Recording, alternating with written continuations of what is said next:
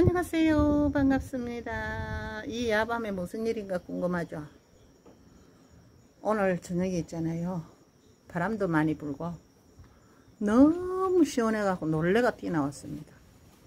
지금 에어컨도 끄고요.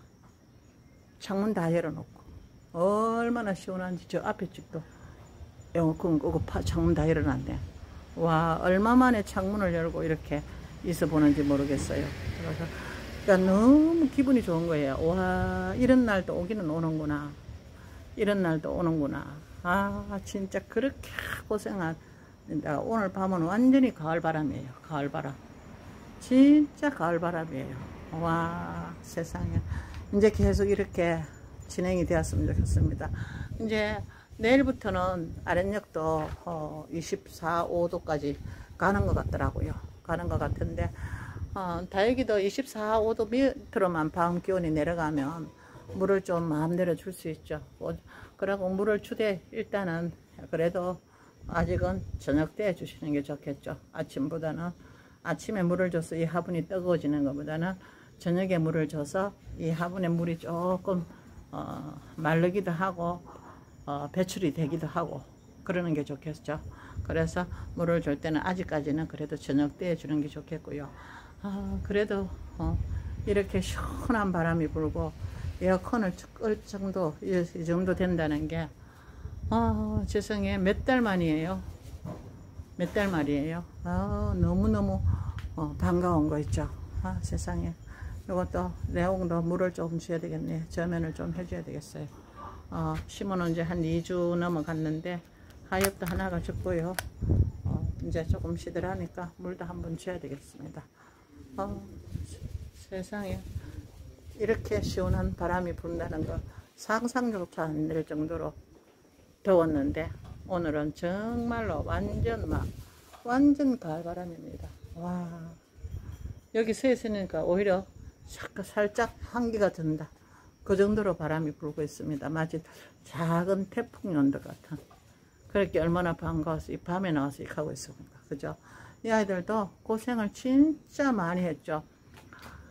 열화성을 제가 올해 처음 봤어요. 올해 처음. 음, 다육이를 몇 년간 키웠어도 열화성을 입혀보진 않았는데 원래는 열화상이 어, 제법 많이 나왔어요. 제법 많이 나왔는데 그 열화상은 방법이 없더라고요. 그냥 조금 그 시원한 데 두는 방법밖에. 그래서 이 일기 조건이 바뀌게 하는 수밖에. 그 수밖에 없더라고요. 그랬는데 이제 이렇게 시원해지면 개들도 또 뭐 돌아오겠죠. 그죠? 돌아올 테죠. 죽지는 않았으니까 돌아오지 않을까 싶어요. 아, 원래는 유난히 물찬 것도 많았죠. 이제 지금 이제 지금부터 분갈이철이죠. 분갈이철. 분갈이는 요즘 지금쯤 해야 돼요. 그래야지만이 어, 빨리 자리를 또 잡아서 겨울을 또 무사히 나겠죠. 이 거리대에서도 어, 세 개나 가버렸네. 세 개나. 어, 보기에는 이게 아무 이상이 없었는 것 같은데요. 꺼내서 보니까 물 찬 것이 와인 피치하고 황홀한 연꽃하고가 물이 차고 그러더라고요. 그래서 그래 봤더니 물 찬 거는 이렇게 어, 목대에서 이미 실균이 침입이 됐더라고요 보니까. 어, 제가 나우를 그 여름에 장마를 다 맞고 그래서도 나울이 참 예뻤었거든요. 예뻤었는데 어, 그 나우를 엎어보니까 뿌리는 이상 없는 것 같아서 다시 심었는데도 계속 물이 차더라고요. 그래서 어, 목대를 잘라보니까 목대가 그렇게 가히 좋지는 않더라고요. 그래서 엎어버렸거든요. 근데 어, 물이 찬다면 빨리 뽑아서 말리거나 아니면 커팅을 해보거나 그 수밖에 없고요. 이제 또 물을 또 막 주기 시작하면은 이제 많이 단수를 했다면은 이게 물 반응을 안 할 수가 있어요. 뿌리 고사가 돼서 그럴 때는 빨리 뿌리 커팅을 해서 새 뿌리를 받는 게 좋고요. 새 뿌리 받는데 너무 오래 뿌리가 안 난다 이러면요. 어, 마늘 간 것을 머그컵에 티스푼 하나 넣어서 밤을 세워서 우려갖고요.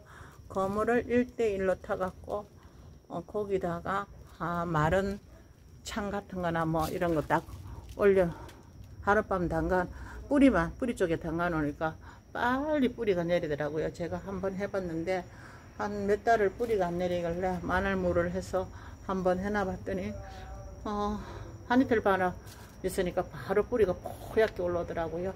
그런 경우도 있었는데 그것이 마늘이 올 사람한테도 영향이 좋듯이 아마 식물에게도 그런 게 있나 봐요. 할 때 모르겠어 했다. 그렇게 해봤더니 뿌리가 뿌리가 빨리 나는 수가 있고요. 이제 이 아이들 여름에 너무 고생을 했잖아요. 여름에 너무 고생을 했으면 물 줄 때 칼슘도 한 번쯤 타서 주시고요. 또 어, 다육경이 참 좋거든요. 다육이한테요. 다육경이 참 좋은데 그것도 어, 2리터 병이 2만원이거든요. 그것만 해도 500마리 타나? 많이 탈 수 있으니까. 그 모르겠으면 용량을 모르겠으면 아주 옅은 보리차 그 용량으로 해서 어, 아이들 주면 되니까요. 어, 다육경도 한번 주셔도 좋고요. 또 어, 이런 칼슘이 제가 오늘 요걸 하나 구매를 했는데 여기에 뿌리도 튼튼하게 하고 잎도 튼튼하게 하는 건데 여기 많이 소문이 안 났을 때는 7,500원인가 밖에 안 했는데 어, 지금 여기 12,000 몇백 원 하더라고요. 근데 요것도 여기 보자 대용량 1리터 짜리거든요. 그래서 요것도 하나 사서 쓰시면 물 줄 때 하나 옆면 살포할 때든지 그런 데 하시면 되고요. 요거는 다육경인데 요거는 영양 살균 해독하는 걸로 되어 있는데 다육이 전용이거든요.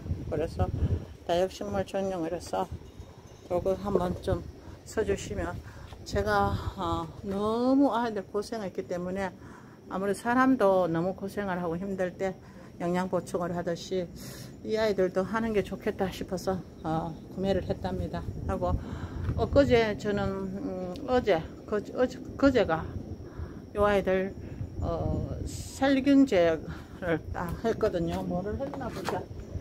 뭐를 했나. 요 프로싹 요걸로 했는데 병해충 관리를 한꺼번에 다 한다 해서 요걸로 했는데 어, 신개념 조숙물 파워 시너지 작용 이래갖고 어, 여기 했는데 이거 이게 다 싹하고 뭐 같은 개념인가 보더라고요. 그리고 뭐 모든 균이라는 거 이런 걸 한 번에 싹 한다고 해서 프로싹이라고 해서 이걸로 했는데 요거를 하면서 약 하면서 어, 퐁퐁을 이, 이 약이 이 약이 우연물이거든요. 우유같이 허영 물이거든요. 그래서 거기에다가 퐁퐁을 한 너댓 방울 탔더니 지금 약흔이 전혀 없죠. 약흔이 전혀 없죠. 퐁퐁을 한 네 방울 다섯 방울 펌핑을 해서 넣었거든요 그랬더니 여기에 전혀 약흔이 없고 애들 얼굴이 맑게 이렇게 됐거든요 펄평은 다육이한테 뭐 지장 없으니까 오히려 어 병충이 있다면 입을 털어막는 역할을 한다고 할까?